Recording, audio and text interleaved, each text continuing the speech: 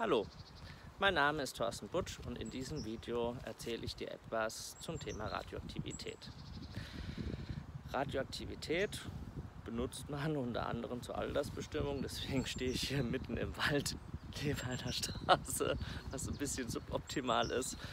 Und ähm, ja, vor allen Dingen in einem Kastell, was so ungefähr im äh, Anfang zweites äh, Jahrhundert nach Christus hat man, äh, hatten die Römer hier angefangen, den Limes zu bauen und das ist irgendwann so um den Dreh entstanden.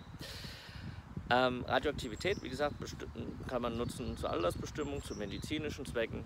Daher gucken wir uns mal an, was ähm, Radioaktivität eigentlich so ist. Und äh, das machen wir mal geschichtlich. Das heißt, wir gehen zurück in das Jahr 1896 und zwar nach Paris, Frankreich. Und zwar, gucke ich schon nach unten, hier habe ich nämlich das Foto von Henri Becquerel. Henri Becquerel hat sich mit Fluoreszenz beschäftigt, beziehungsweise den Leuchten unter anderem von Urankristallen.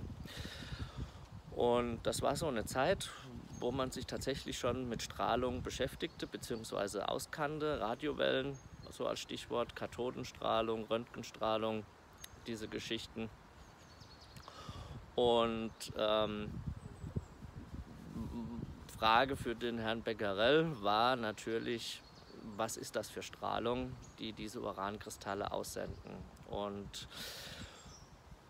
er wusste ja auch dadurch, dass Strahlung bekannt war, versuchte er natürlich, ähm, das jetzt nachzuweisen. Und Strahlung hat man zu der Zeit mit Fotopapier bzw. Fotoplatten nachgewiesen. Das heißt, wenn Strahlung da drauf fällt, dann hinterlässt das im Prinzip eine Verfärbung, die man dann, wenn diese Fotoplatten entsprechend entwickelt werden, ähm, sichtbar machen kann. Also stellte er seinen Versuchsaufbau her, wickelte natürlich die, die Fotoplatten einmal in äh, Papier ein, das sozusagen sicherstellen sollte, dass kein Licht drauf fällt und ähm, auch probierte mit Metallplatten das Ganze abzuschirmen, weil man ja wusste, das hält Röntgenstrahlung ab.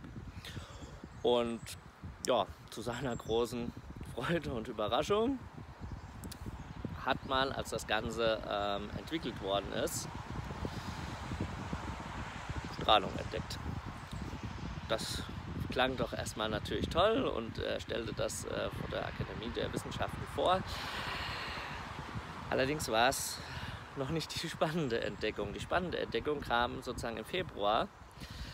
Und zwar glaubte er, dass sozusagen das Sonnenlicht das Urankristall dazu anregt, diese Strahlung auszusenden. Und im Februar gab es halt anscheinend was Wetter schlecht, gab kein Sonnenlicht was dann passierte, war, er musste seinen Versuchsaufbau wegpacken. Und ja, das Spannende war dann, als ähm, die Fotoplatten entwickelt worden sind und er feststellen musste, da war wieder Strahlung da. Das heißt, er hat offensichtlich eine Energiequelle entdeckt, eine Energiequelle, die sozusagen ohne äußere Anregung von sich aus Energie freigibt in Form von Strahlung. Und das war eine Sensation. Die genauere Untersuchung ist erst später erfolgt, beziehungsweise die weitere Untersuchung, und zwar durch diese beiden hier. Das sind die Curies, Marie und Pierre Curie. Ähm, beziehungsweise Marie Curie war die treibende Kraft und ähm, die hat auch oder die haben jetzt äh, auch den Namen Radioaktivität geprägt. 1903 gab das den Nobelpreis für alle drei. Das Besondere aber auch ist, äh, Marie Curie, soweit ich weiß, ist das, glaube ich, sogar die einzige Frau, die für eine dieselbe Sache gleich zwei Nobelpreise bekommen hat, und zwar einmal für Chemie und einmal für Physik. Soweit, so gut. Jetzt ist es so, dass man, dass wir uns jetzt mal angucken, was ist das jetzt eigentlich, Radioaktivität? Gut, Aussendung von Energie, es ist vor allen Dingen aber auch der Zerfall von Atomkernen. Zerfall von Atomkernen bedeutet ja, dass aus einem Atomkern ja letztendlich ein anderer wird. Und eigentlich mal ganz spannend, was, würden, was haben die Leute sich damals gedacht? Weil zu der Zeit war ja das Periodensystem der Elemente, also die Elemente, das war etwas, wo man geglaubt hat, das ist irgendwas Festes, Beständiges. Und dann musste man feststellen, die können zerfallen. Gut, da haben sie früher schon die Alchemisten dran im Mittelalter versucht. Die wollten Gold herstellen, mit allerdings wenig bis äh, eher gesagt keinem Erfolg. Aber gut. Jetzt gucken wir uns mal an, so ein Atomkern besteht ja normalerweise aus Protonen und Neutronen. Bedeutet, wenn jetzt so ein Atomkern zerfällt, dass man eventuell dann einen anderen Atomkern hat. Was heißt das, ein anderer Atomkern? Naja, wenn man sich das Periodensystem anschaut, die Anzahl der Protonen bestimmt, wo das Ding im Periodensystem steht. Wenn ich mir zum Beispiel Wasserstoff angucke, Wasserstoff ist normalerweise ein Proton und die Science-Fiction-Fans, die wissen vielleicht, Deuterium, Tritium kommt ja meistens äh, in, in Science-Fiction-Serien vor. Das ist auch Wasserstoff. Und zwar, man sagt dazu Isotope.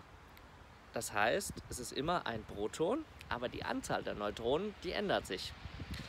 Das heißt, Deuterium ist ein Proton und ein Neutron. Tritium ist ein Proton, ein Neutron und noch ein Neutron. Das heißt, es gibt nicht nur ähm, also wenn ich das äh, Periodensystem angucke, sehe ich immer nur sozusagen die, die Anzahl der Protonen. Aber in Wirklichkeit gibt es ja noch die Isotope. Das heißt, das ist zwar die gleiche Anzahl an Protonen, aber unterscheidet sich in der Anzahl von Neutronen. Was zu der Frage führt, wann zerfällt denn überhaupt so ein Atomkern? Da sind erstmal zwei Sachen dazu zu sagen. Das eine ist, eigentlich kann man das gar nicht so exakt sagen. Also ich kann mich nicht nebendran stellen und sagen, der wird jetzt, was weiß ich, in fünf Minuten zerfallen.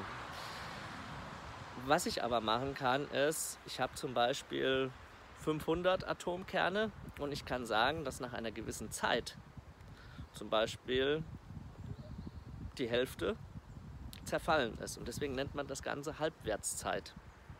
Das heißt, ich kann, die ist natürlich von je nach Nuklid nennt sich das, diese Konfiguration in Protonen und Neutronen, je nach Nuklid unterschiedlich.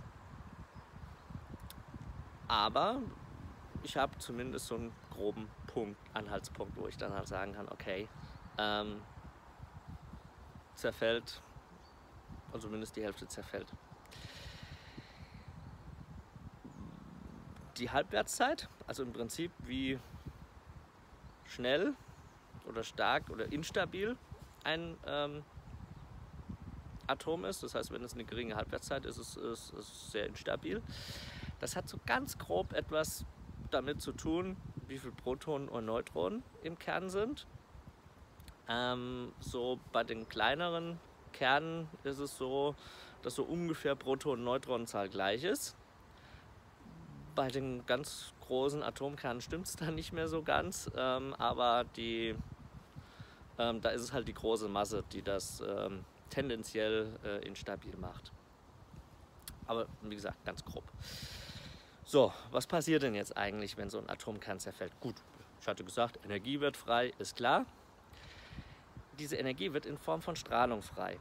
Und diese Strahlung, die kann man im Prinzip in zwei Kategorien einteilen. Einmal das, was sich Teilchenstrahlung nennt. Das heißt, da fliegt wirklich ein Teilchen raus. Und elektromagnetische Strahlung. Zum Beispiel Licht ist eine elektromagnetische Strahlung. Da ist es so, da fliegt halt eben kein Teilchen raus. Und das heißt, Protonen und Neutronen, die Anzahl bleibt. Bei den anderen ist es so, dass sich die, die Protonen- und die Neutronenzahl, also bei den Teilchenstrahlungen, kann sich die Protonen- und Neutronenzahl ändern. Und damit tendenziell ähm, kann das dazu führen, dass aus einem Element eben ein anderes Element ne, äh, wird, weil sich die Anzahl der Protonen ändert. Soweit, so gut. Ich hoffe, das war sagen wir, ein grober Überblick. Ähm, die Sachen, die einzelnen Stichworte, die ich in dem Video genannt habe, die äh, werden in weiteren Videos dann genauer erklärt.